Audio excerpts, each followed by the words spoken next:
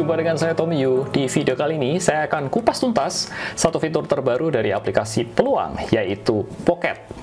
Dengan fitur Pocket ini, memungkinkan kita untuk bisa menjadi fund manager kita sendiri, di mana kita bisa mengatur keranjang investasi kita semau kita. Fitur Pocket ini juga memungkinkan kita untuk bisa melakukan pembelian berkala secara otomatis. Kita akan mengupas tuntas, yaitu fitur terbaru dari Peluang, yaitu Pocket.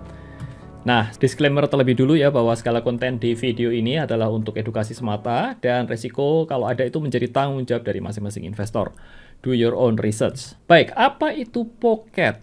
Jadi pocket sini sebenarnya kalau boleh saya bilang simpelnya seperti ini. Ini merupakan suatu keranjang ya. Keranjang investasi begitu ya yang dapat kita isi dengan berbagai macam saham yang kita tentukan sendiri.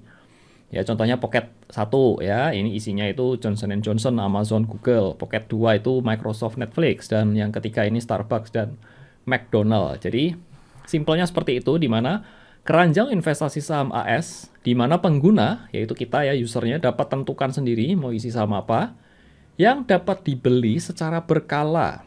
Jadi nanti kita tentukan dia berkelinya berkala begitu ya, dapat diatur besaran alokasi untuk tiap sahamnya.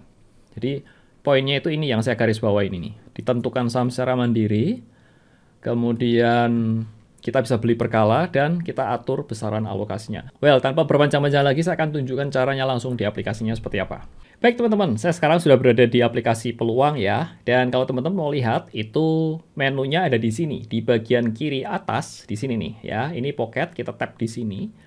Kita akan masuk, ini sudah ada di preset sebenarnya. Jadi ini saya sebut sebagai preset saham AS. Itu contohnya ya, Hello California. Hello California ini merupakan yang saya bilang pocket itu, keranjang itu. Kalau kita tap di dalamnya, itu isinya ada lima saham, yaitu Meta atau Facebook ya, Meta, Apple, Amazon, Google, dan Netflix. Ini yang orang sering sebut sebagai namanya itu FAANG atau FANG. FANG stock itu ya ini. F itu FB sebenarnya ya, Facebook ya. Kelima saham ini itu dimasukkan sudah di preset sama peluang itu menjadi yang namanya Hello California. Oke, ini pengenalan terlebih dulu tentang Pocket.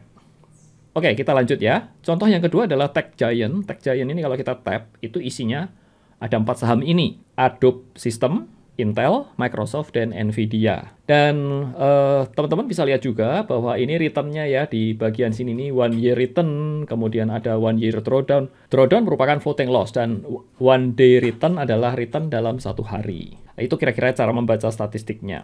Oke, okay, ada beberapa preset yang sudah ditentukan, yaitu kayak King of Wall Street ini Visa dan JP Morgan, kemudian Scene Stealer ini uh, saham-saham movie ya. Contoh dalam hal ini tuh ada Disney, ada Spotify, dan AMC untuk entertainment lah intinya seperti itu. Yang terakhir adalah Big Bites. Big Bites ini adalah yang uh, isinya itu McDonald, Coca-Cola dan Starbucks.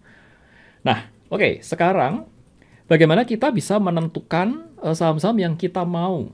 Ya, caranya simpel sekali yaitu lihat di sini nih, buat pocket versi kamu, kita tap di sini. Kita kasih nama pocketnya, misalkan JSX Pro ID apa ya JOS gitu ya. Bebas saja sih kasih namanya kemudian kita bisa tambah aset. Tambah asetnya apa? Itu kita bisa pilih saham-saham yang sudah tersedia. Well uh, kalau saya lihat ya nggak semua saham yang ada di perdagangan di uh, seperti biasa itu ada di sini. Jadi ini hanya selected saja. Contohnya kita masukkan let's say ya Amazon. Ini contoh saja ya Amazon uh, Google kemudian Johnson Johnson dan Coca-Cola dan Mastercard. Kalau kita mau tambahkan 6, ya nggak bisa. Jadi maksimum dari pocket ini hanya ada 5 pada saat ini. Ya nanti di kemudian hari hopefully bisa nambah lagi ya. Kalau misalkan teman-teman mau masukkan ada eh, 10 saham, ya harus dibagi dua pocket begitu. Ya untuk contohnya kita masukkan 5, kemudian kita eh, klik tab di sebelah kanan atas ini selesai. Ya, JS Explorer di JOS ini isinya adalah Amazon, Google, JNJ, eh, Coca-Cola, dan Mastercard.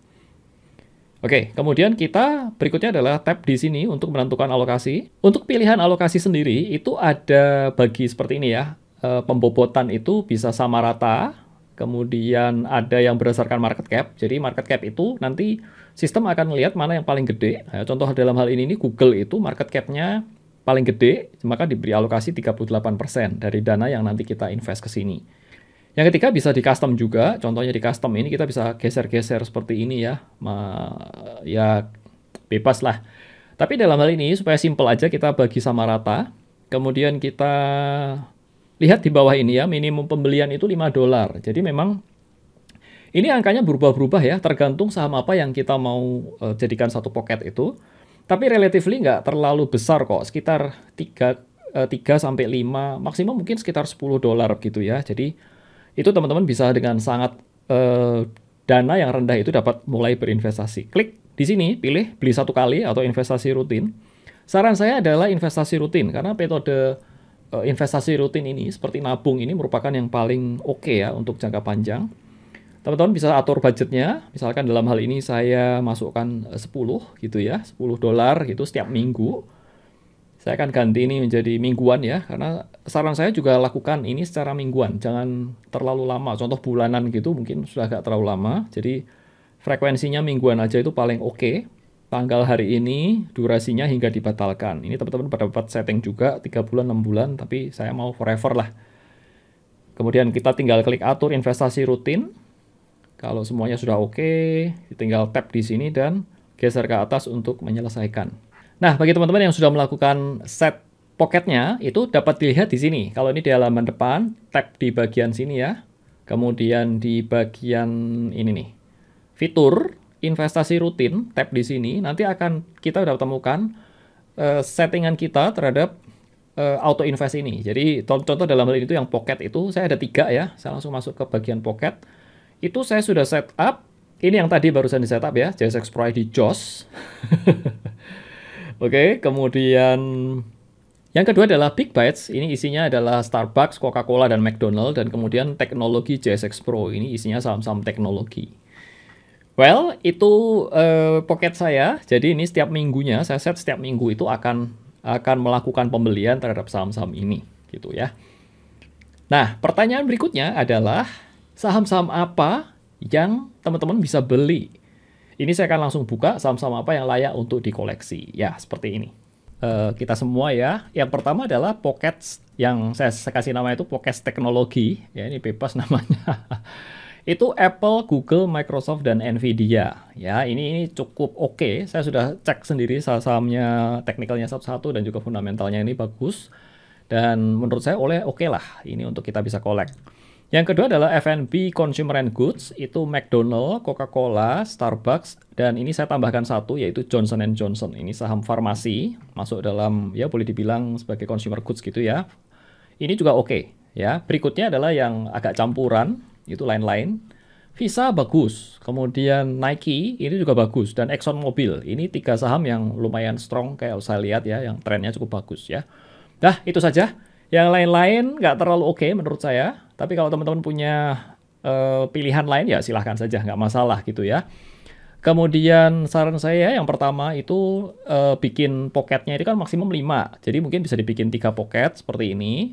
Eh, masing-masing uh, ini teman-teman bisa bagi sama rata saja dan uh, apa itu investasinya bisa berkala secara mingguan. Karena mungkin paling impact itu mingguan ya. Kalau bulanan agak terlalu lama menurut saya dibagi saja misalkan teman-teman mau invest tiap minggunya satu juta atau tiap minggunya eh, lima ratus ribu tinggal dibagi ke tiga pocket ini Demikian tutorial singkat tentang bagaimana menggunakan fitur Pocket di aplikasi Peluang. Terima kasih atas perhatiannya. Kita jumpa di seri tutorial yang lain. Dan nama saya Tom Yu. Saya ucapkan salam cuan.